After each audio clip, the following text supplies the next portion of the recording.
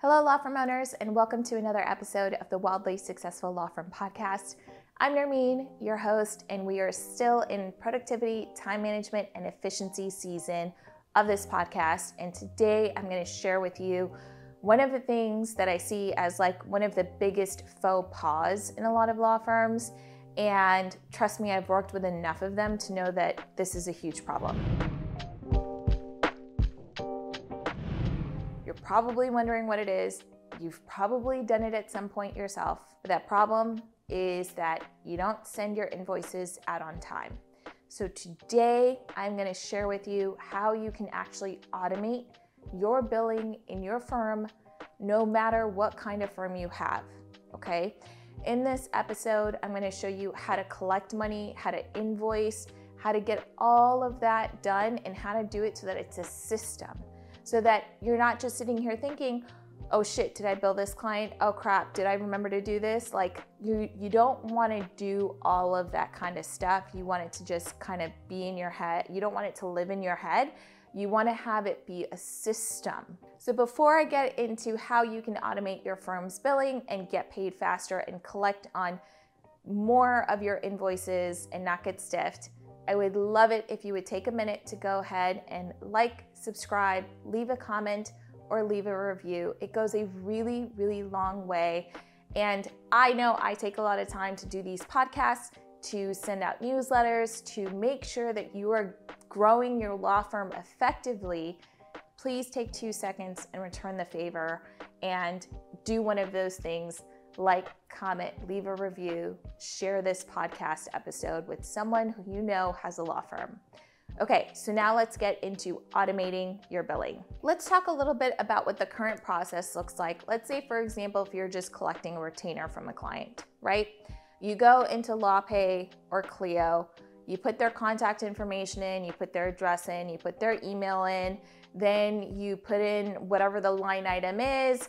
It's an invoice for $1,500 as your retainer, $5,000, $10,000, whatever that number is, right? You're just collecting a retainer. You're going into LawPay or Clio and you're typing all this information in, and then you go into your email to copy their email address. But wait, you go into your email and you see an email from a past client and you're like, oh, I have to respond to this because you don't scan your emails because you are doing the things that I told you not to do in episode one of this season. So you respond to that email, and all of a sudden, 10 minutes has gone by and you didn't send out that retainer. Then you go back to Clio to get that email address in, and you're like, wait, what was I doing? Oh, that's right. Yeah, I was getting their email address. Okay, yeah, so let me go put their email address into their invoice so I can send it off to them.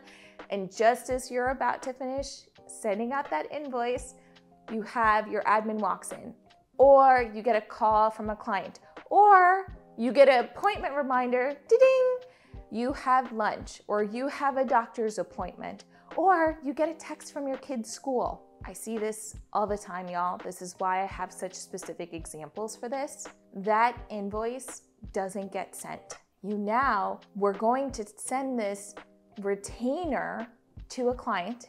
You were gonna get paid and you didn't send it. That's one day gone that you didn't send it. Then you come in the next day and you're like, you go to bed that night and you're like, okay, I gotta get that, I gotta get that retainer out the next day. It's the first thing I'm gonna do. You get to your office and there's a client fire that you have to put out. Now it's noon and you still haven't sent out this invoice, right? And keep in mind, when you send out an invoice, it doesn't mean that you get paid as soon as it gets sent because the client still has to receive it, they have to look over it, then they have to click on the pay now button, then they have to put their card information in, then they have to hit send, right? It's a whole thing that's happening. It's not just the shit on your side, it's the shit on their side. Right? There's this constant like tension between these two things. And as we've gone to a more virtual world, which means you don't have a client consult where they're sitting across of you and they're saying, okay, here's the problem, here's what I need to resolve. And you say, okay, that'll be $3,000 for your retainer. And you take that check that day. We don't do business like that anymore, right? Most firms have now gone to where they send an online invoice. They send something through email, they send a link through text right? As this has happened, it's made it a little bit more challenging for law firm owners to get paid immediately. So, what we're going to talk about today is how you get into this habit of automated billing and automated invoicing. Now, I am going to share with you all a video for you to see how I send out my invoices and how it's literally three clicks and done. I'll also share with you how I do that same process for my clients, whether they're collecting an invoice or they're collecting a retainer, and what the flow looks like for each of those things. I'm gonna share with you a video on that so that you can see is this something that you want to make your life easier. I talk to attorneys who are still the ones who are drafting their own client agreements and their own client contracts. You may only have 50, 70, 40 clients a year, but that admin process is one of the things that can actually be automated. So I fully believe that if it can be automated, you shouldn't be the one to do it. You should be the one who's out there drafting up their agreement, doing the actual legal work. You shouldn't be doing the admin work of collecting money. It should literally be two clicks and done. All right, so let me tell you some other things that you need to think about when you're automating your firm's billing. So, number one, when you have a new client, you want to make sure that you are collecting the retainer before you do any legal work. I know that there are a lot of old school law firms out there who are like, well, I do the work and then I bill. I understand that, but we're also in 2022 and there's a recession and inflation has gone insane. There's no reason that you should be billing after the fact. It's literally like going to Starbucks and saying, you know what, I owe you. Thanks for the coffee. Once the caffeine kicks in, I'll be sure to send money via Venmo. what? Why would you do that? That's insane. Medical practices get paid for procedures before they do the procedure.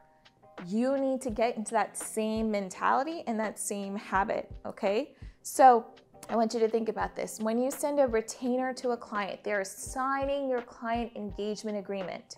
Okay, so as soon as they say, Yes, I want to hire you, in two clicks, they should get a contract to their email. They then need to sign that contract. Then, as soon as they sign that contract, that immediate next step needs to be here's an invoice for your retainer. And the retainer amount can be whatever you want it to be. All this can be customized. And when they get that retainer, they then get another email that says, Ha, here you've been sent an invoice or a retainer. Please pay this amount right now. They go through and they pay, and then you get a notification that not only have they signed a contract and officially become a client of your law firm, yay, but also that they have now paid the retainer. Yay! Double yay, which means you can start working on that case file.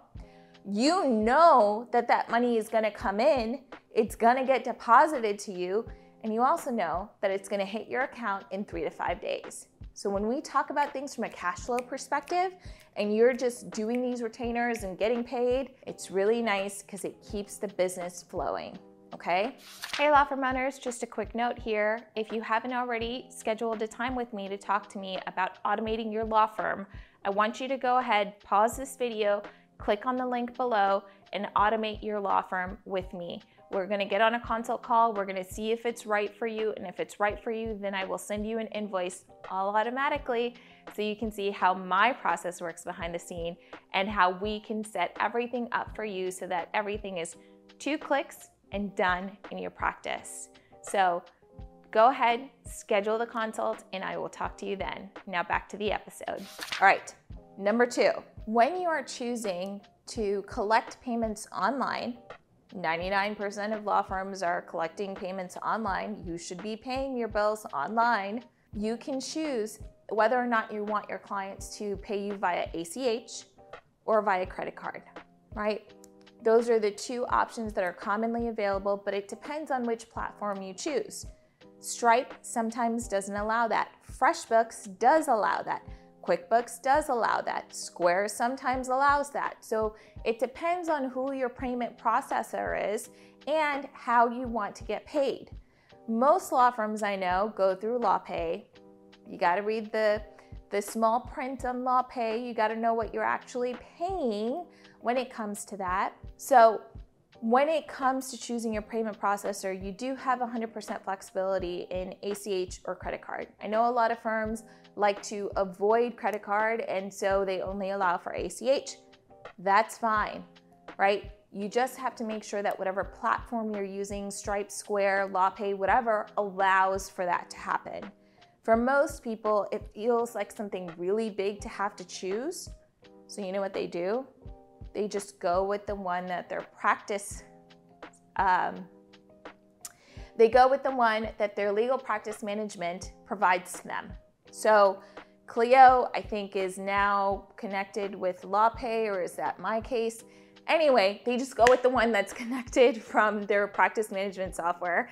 And they're not really thinking about, okay, well, is this the best option for me, right? Because if you are collecting 300,000 a year in credit card fees, oh my goodness, you're paying a lot in fees, okay? And you can very easily maximize sometimes seven, ten, fifteen thousand dollars every year by just choosing a different processor, by not going through the one that's in your legal practice management software, which is trash anyway. So, something to keep in mind as you are going through and thinking about automating your billing. How much are you going to be paying in fees? All right, next thing. I know a lot of attorneys are moving to the evergreen retainer, which is basically that your retainer amount gets upped every single month. So the client leaves a card on file. You charge 3,500, 5,000 every single month and you work against that amount collected. I personally think that that is the way that business should be done. You should not be getting paid after the fact because too often, where there isn't an evergreen retainer, I see attorneys going back and adjusting their bills, adjusting their invoices, especially the smaller ones who are like, oh, well, I guess I worked for 30 minutes, but I can just do that for free because the client's complaining. Or, oof, this bill is really big and it's been $5,000 for the last two months, and I feel like the client's gonna freak out. So, you know what? I'm not gonna do that. I'm not gonna send such a big invoice out. I'm gonna go ahead and discount it. By having that evergreen retainer in place, the benefit, the biggest benefit is that you're going to be able to invoice for the right amount without having to negotiate with yourself. Is the client actually going to pay for this? So, if you don't have evergreen retainers, you should. And the processor that you use can go ahead and just automatically charge that amount at the beginning of the month, every single month, so that you get paid when you need to without having to chase around invoices, without having to say, hey, I did all this work, can you pay me? No, I'm mad, you didn't tell me it was gonna be this. Whatever else that conversation becomes between you and your client, right? Okay, so let's talk about the next benefit of automating your billing. Let's say, for example, that you are an immigration attorney and you get paid in two payments typically. One is before the application is filed, all of the work that you're doing all of the documents you're collecting, all of the questions that you're asking the client, all of the questions you're answering on this application, all of that sort of front loaded work. You get paid for that before you start it. Then let's say you get paid again after 60 days, typically, and before the filing of the application. Now, if that's how your firm is set up, it's possible to set automated payments up in that exact same way where the card is maintained on file. You go through, you check a box, and you say, Yep, we've completed the second part. We're gonna go ahead and charge that account. So it is possible to get paid in recurring.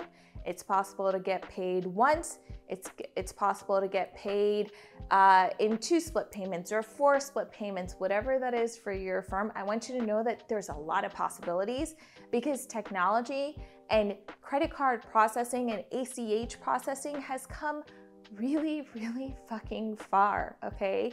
You're not just sitting in your office waiting for checks to come in the mail.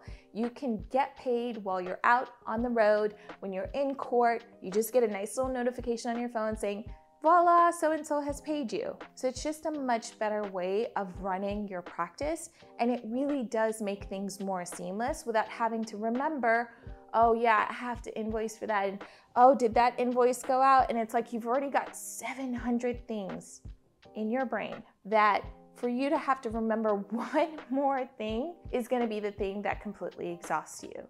So don't do that to yourself. Give yourself an opportunity to win here and set your billing up in a way that it's going to work for you and that allows you to get paid for the work that you actually did for your clients, right? Okay, here's the next most important and final thing that I'm going to say about your billing. You want it to be reliable. You know who's not reliable? You are not reliable because you're remembering 700 things along with having to get milk before you go home and pick up the kids' costume and get the dry cleaning you're not reliable. You know who else isn't reliable?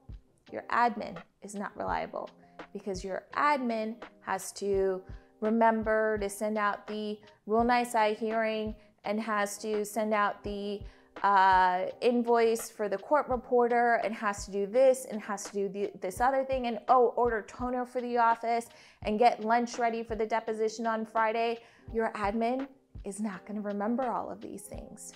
Not reliable. What you want is you want a system that is reliable for your business. And you want to make sure that if you forget, if your admin forgets, the system that is controlled by technology, and fortunately, not us humans, doesn't forget that the system works. All of my clients get set up on GoCardless. It is what I use in my practice.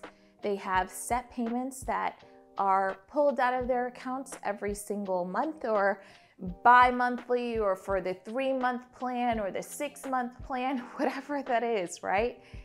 That gets done automatically.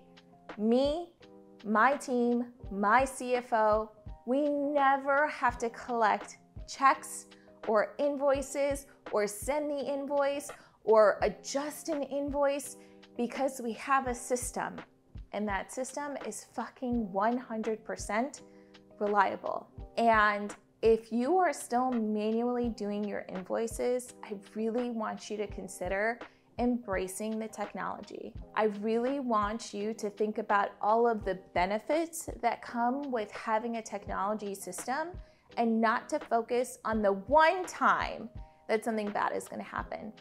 Because as a technologist, as a strategist, my goal is to create technology solutions for 80%. Now, what does that mean, 80%?